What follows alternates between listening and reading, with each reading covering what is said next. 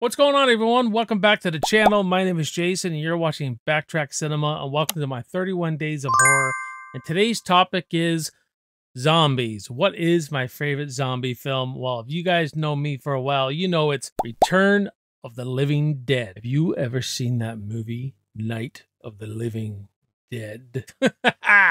Love this movie. Great characters. This is a kind of movie that knows what it is. It's fun as hell. It's got attitude, the punk rock vibe throughout throughout it. The aesthetic of the graveyard. I love graveyard cemeteries and movies and you know Tarman being so iconic.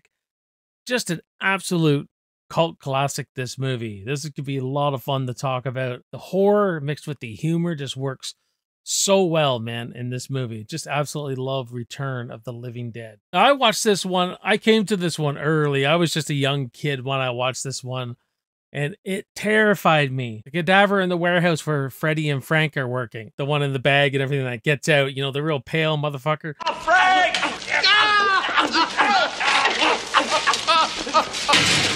that thing terrified me. The way it was just running around like beans, beans, beans, beans. They sawing its head off and they saw it in the pieces. That just terrified me when I was a kid. It scared me. I did the old blanket over the eyes thing. Um, so I, I watched this probably way younger than I should have been watching this kind of stuff. But hey, turned me into a freaking demented horror fan, I guess. But it's just a ton of fun, this movie. You know what I mean? You can invite people over have some pizza, drink some beer and have a ton of fun watching Return to the Living Dead. We got this character of Freddy who's been shown around by Frank, his new boss. They accidentally bring zombies back because good old Frank hits the tank, it starts leaking, goes into the air, it rains all over the acid rain rains all over the graveyard. Then they're all coming up out of the freaking graves and shit like that. Things go really bad for Freddy and Frank, and then they gotta call the boss uh, Burt in the clean up all this mess. All the kids who just want to party, they're partying in the graveyard, they're waiting for Freddy to get off work.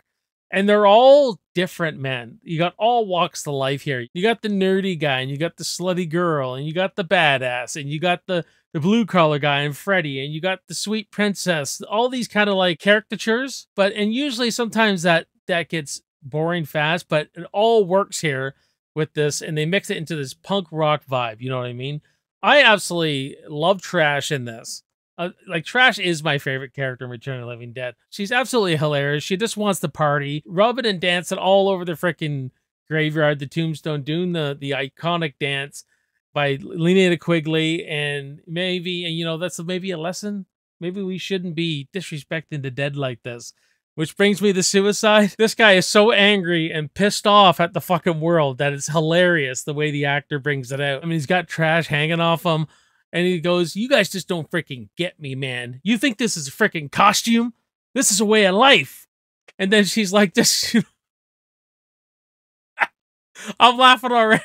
And he throws her off of him and he's like, What the hell's the matter with you? Have some respect for the fucking dead. Hey, what's wrong with you, man? Show some fucking respect for the dead, will ya? And characters like Spider are awesome when he when he when he sees Freddy foaming at the mouth, he's like, and this fucking stuff was, and then he says freaking out, and the guy fucking slaps him. His face all fucked up with Freddy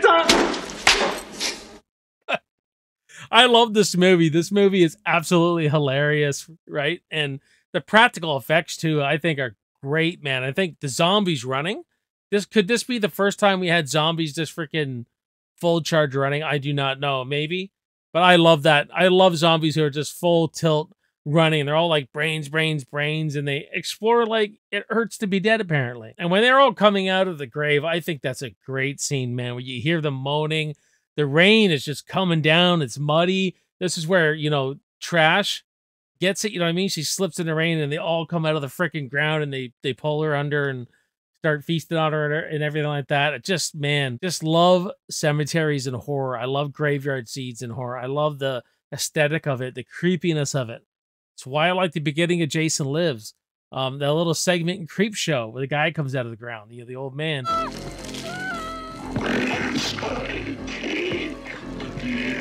Great score too. How it opens up after Frank um, hits the barrel and it, the the tank starts leaking. That music going on, and oh, a lot of the songs are freaking awesome in this. Like you want to party and everything, where they're all coming to the grave. It's party time. It's a great score, man. I like the music or the song that's going on when Frank is Frank and Freddy end up turning into zombies slowly, right? I, I love this. He decides that, you know, he doesn't want to turn into one, so he puts himself in the incinerator, the furnace, whatever you call it. And the music going along with that, he he takes his wedding ring and kisses his wedding ring, puts it on there, you know what I mean, and torches himself. I thought that was a great moment, man. And just the song behind it, I thought was really awesome. And the thing about the tone of this film, you got to understand it. It knows what it is. It's diving into comedy and horror, but so fluently. You know, nothing feels off or or you know clunky or anything. And a lot of people may come to this movie and go, "Man, the acting was bad," or "Man, they overacted so much." That's the point. They knew how to play the acting perfectly. It's a little over the top. The whole fucking movie is. You know what I mean? Especially with James Karen, who plays Frank. Love this character. He knew exactly how to play that character. All right. I think I can do this, Burt. well, you damn well better. You got us into this. Oh. Just brilliant performance, I think, by him. Just absolutely love him.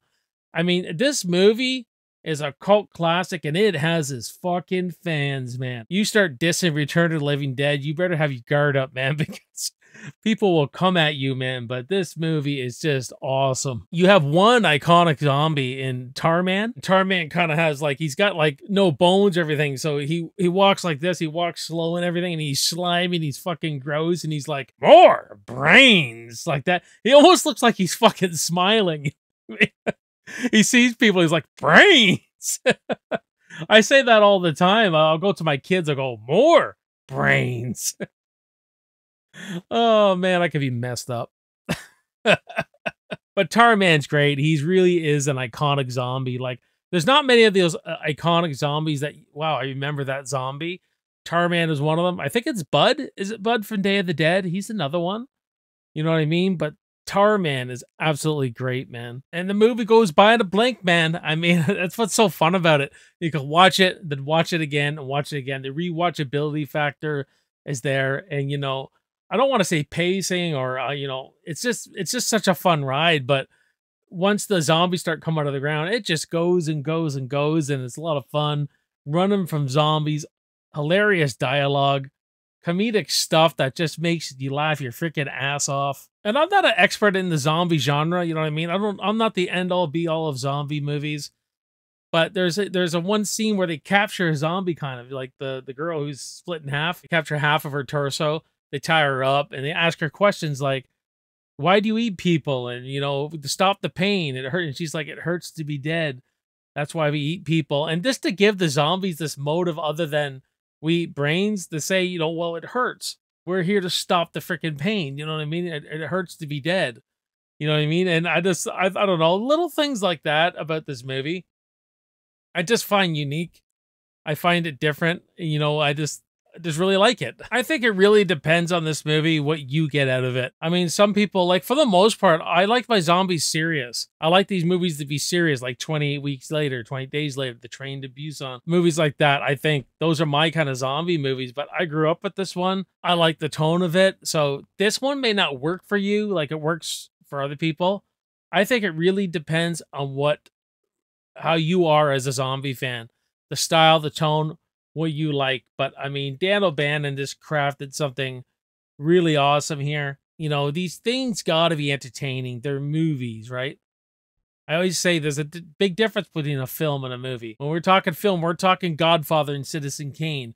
We're talking movies. We're talking Jason Lives and Return to the Living Dead and Evil Dead 2 and, you know, movies that are just a lot of fun to have a good time with. I love me some Return to the Living Dead. What about you, though? Do you love Return to the Living Dead? Let me know in the comments what you think of Return to Living Dead. We'll have a good discussion. Click on that end card. I'll have related content to show you there. You can go down the channel, down the rabbit hole, as I say. And yeah, this was a lot of fun, guys, talking my favorite zombie film with you.